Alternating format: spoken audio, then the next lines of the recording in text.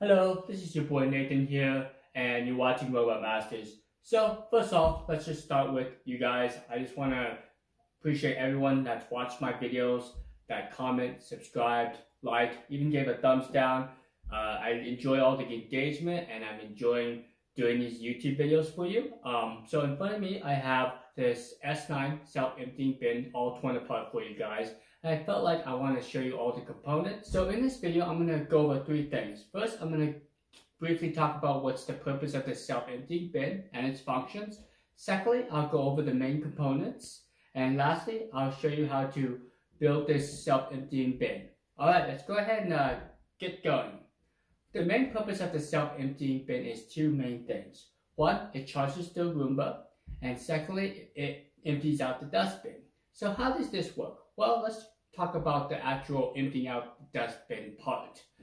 Uh, first, you need a vacuum motor. Here's the motor. I'm going to go ahead and get up close for you guys. Uh, you guys see that nameplate right there? Um, this is just a brushless motor. Let's see if you guys can get a good look inside there. And you can see the uh, copper wiring and uh, you might be able to see the magnets down there. Now, next part of this motor is the fan housing unit. So inside is a few fan blades and that's what creates the suction.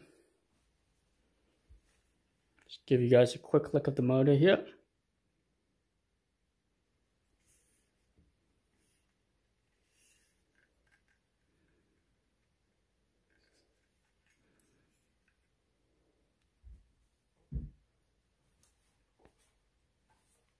The robot docks on here, pulls the debris through this hole, and it goes up along this tube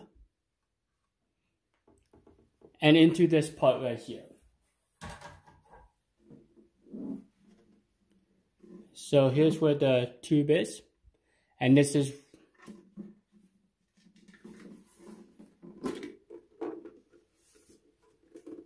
if you look inside there, this is where your uh, bag will sit right there.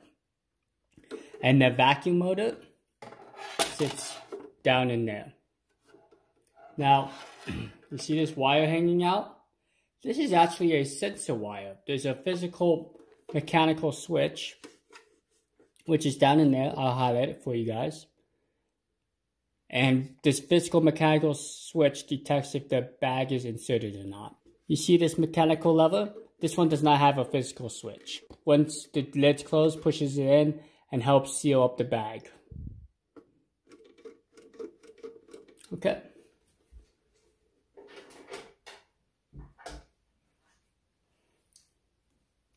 So this is probably one of the most important parts. This is the filter that prevents debris and particles to get down into your uh, vacuum motor.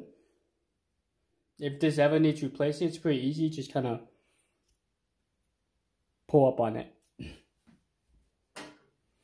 Alright, let's get to the actual motherboard. So this is the controller for everything. It, it provides the charging of the robot. It provides the infrared sensors. So here's the emitters right here. Let's see if you can see that. Can you guys see in there? Yep, you can see the little infrared emitters and this is the receiver or what people call the Archon sensor, which allows the robot to dock.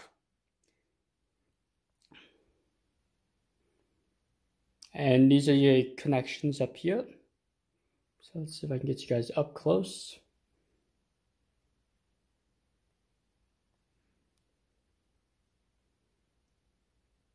Give you guys a really good look at this guy. Maybe you guys want to see what this says. And let's look in the back here.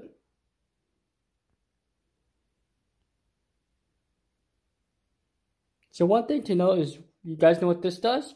Well, this is a uh, pressure sensor. So this part tells the circuit board if there's pressure or not. So if let's say you try to self-empty the bin and the lid's open, it will say loss in uh, pressure.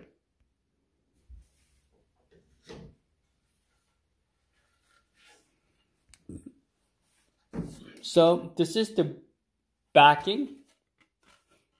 You recognize this part? So here's where you wrap up your power cable. And look at this, guys.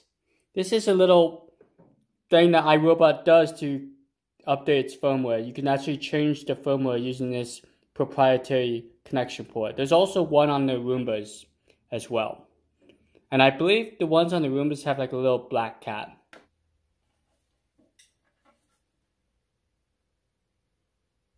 So this is your motor housing. And there's also like a little rubber, uh, kind of like a little shim. So this kind of sits on the motor part.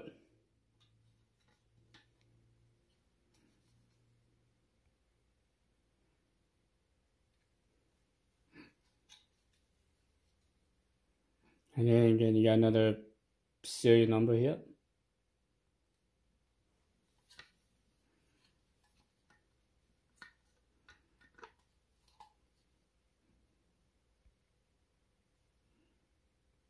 Okay. So did you remember those infrared sensors I showed you? This is where it, it sits is right here. This is kind of like the window or the eye. And then this is where the dirt gets sucked in and these are the two charging contacts. And then up here is you got a little LED light. Okay, so this wire controls the little LED light. It can it's multicolored. It could be white or red. And this is just some uh, foam insulation. And then down here is the wire for the charging contacts. So here's underneath. So if you ever have a clog, this is the protective cover. All you have to do is remove these screws around here and you can unclog it. You just take this piece and it just kind of it's right in there. Okay. Okay, so that's basically a quick overview of the major components and what they look like. I'm going to go ahead and uh, start getting this guy built and you guys can watch me.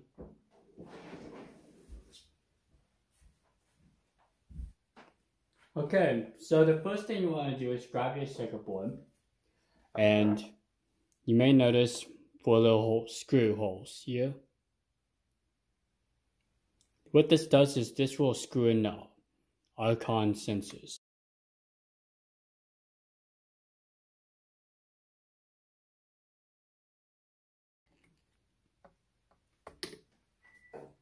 Next, gonna take this You guys see that? And it's gonna go in here. And we're gonna use some silver screws for this guy. So what I usually do is you just put one in just to hold the circuit board and what you can start doing is plugging in the wires. Let me go ahead and plug in this guy. And you can only go one way. And just make sure it's pressed down in there. Pretty simple. Now, what's nice about this guy is if you ever have to replace your power cable, it's real simple. You can just unplug it from these two quick connect connectors. Now let's go ahead and plug in our contact wires that charges the robot. It just goes up inside there and snaps in. All complete.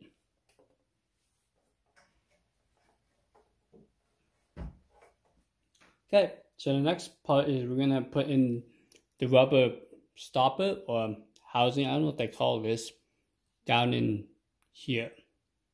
So notice the little notches? Line up in those two notches there. So I'm just kind of line it up there.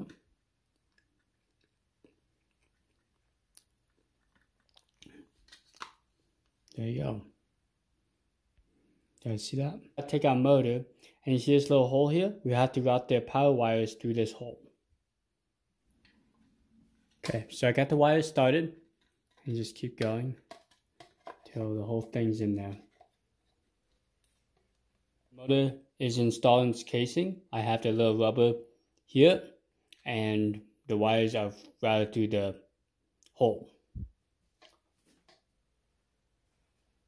Next, we're going to take our little rubber kind of insulator and install it over. There we go. Now it keeps the motor nice and secure. We're going to put this plate on the back of this motor. Um, you notice that these bumps here, this actually goes away from the motor. That's how you know what orientation the plate's on. And you see this little indentation? That's where the motor wires go through. So it kind of slots in like this. See that?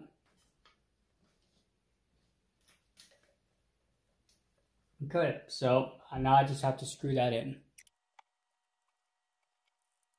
And just make sure this is kind of flush and nicely seated.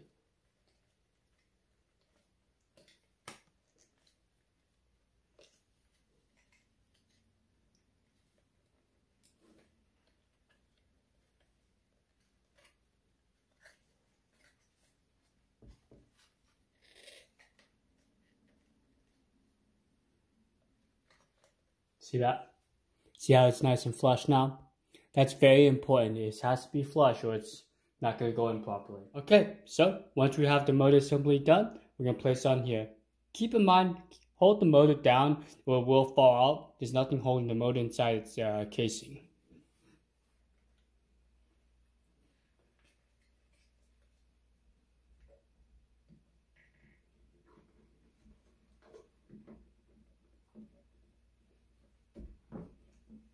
Alright, let's go ahead and uh, grab some screws. And I'll give you guys a quick look about, see that? Just kind of slots in there. One thing to note is to find the orientation, just make sure this matches on with this. Because this is where the hose goes.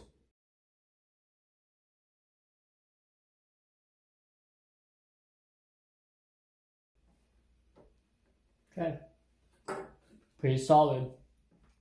So we mounted the motor onto the top part of the unit, and now the, here comes the tricky part. So what we're gonna end up doing is we have to slide this piece, this little edge here, down in here. And we also have to route this tubing in this hole right here. Right there, that's where the tubing goes.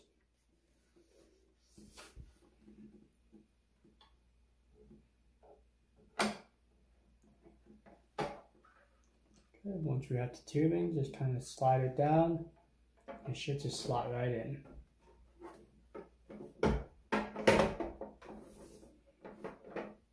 Okay, see how the tubing's kind of pinched? Just kind of gently pull up on it. Okay, so it looks like it's slotted in there. So I'm gonna connect the sensor wire right here. It's just kind of lift up a little bit. Give you guys, give yourself a little space.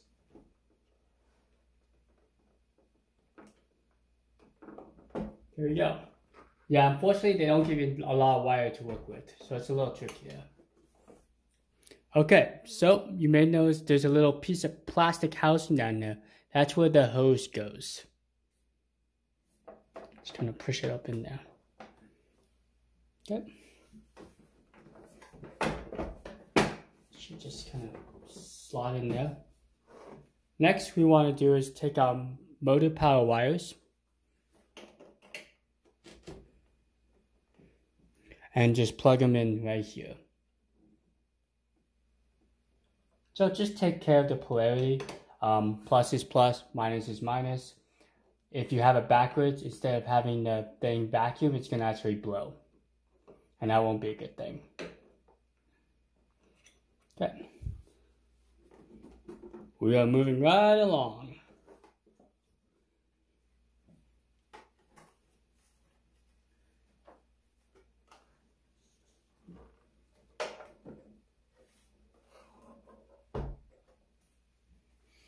So you notice that there was a gold trim here when you bought it. Uh, on the i7 it's black, but what you do is remove this like, it's kind of like a sticker.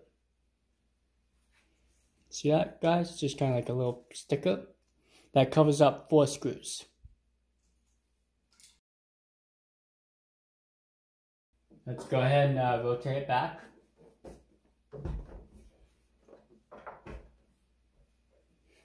So the next part is we're going to install the base plate. Okay, so the first thing we're going to do is take out base plate and we're going to hook up the power adapter cord right there.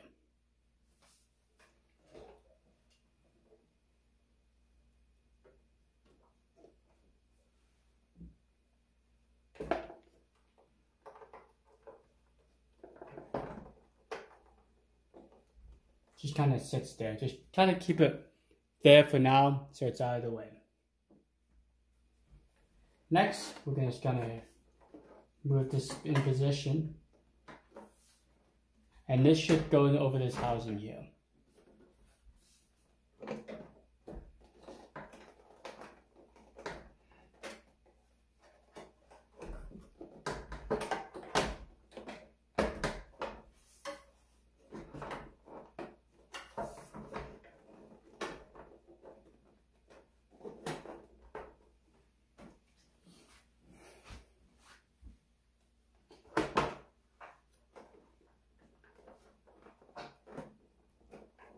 A little tricky to try and make sure it gets in there.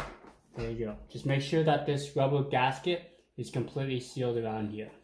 So you can get, you know, and you got your little power adapter right there. Okay, where, oh, where's this power connection? Right here. Okay, so that was fairly easy, right? Just a few more parts and we should be good to go.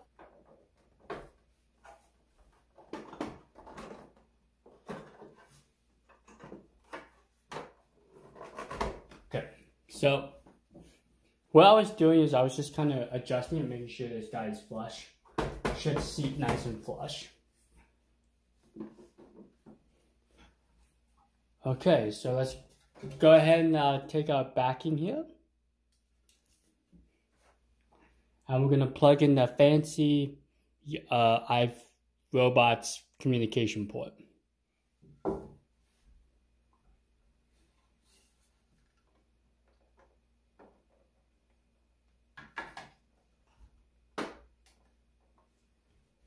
Next, we're gonna take a little power thing and hook it up. That kind of slot in, okay? So, start with the bottom end first and kind of wiggle it through. Just kind of slot in.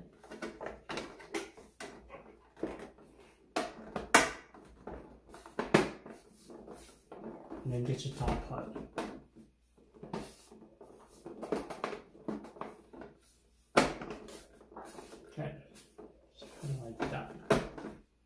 And if uh, anything is catching, just double check to make sure everything is kind of lined up and there's nothing pinching. Okay, so there we go. Let's get some uh, screws in there.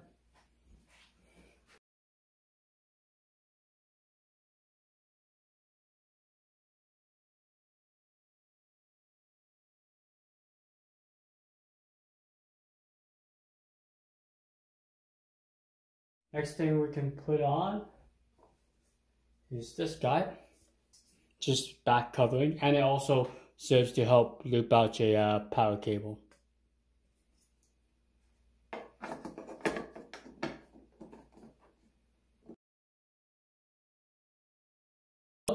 Uh, well, unfortunately, the trim has a one-time use glue, so you can take a little uh, you can either use super glue, maybe Elmer's or something to just kind of put this back on.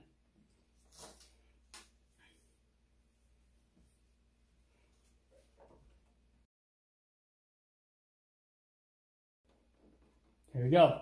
Got a little edging in there. Next part.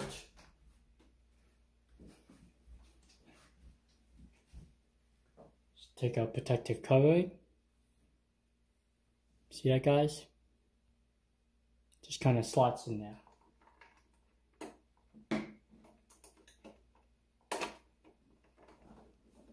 What do you guys think? Looks good new, right? Now we got the fun part, a billion screws to put in.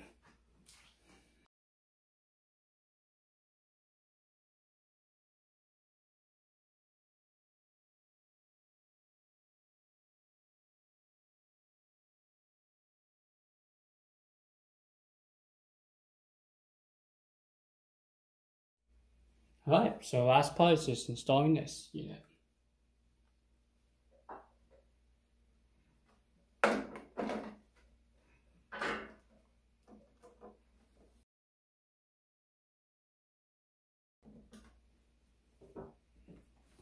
Okay, looks like we're all done here. Except for one very, very important thing. So if you see that guys, if you don't install this filter, you will damage this motor.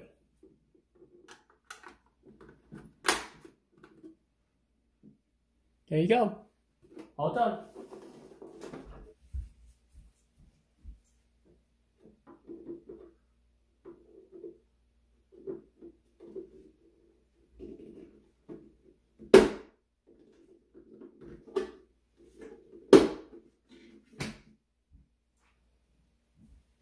Okay, how was that, guys? Now, the real question is, does it turn on?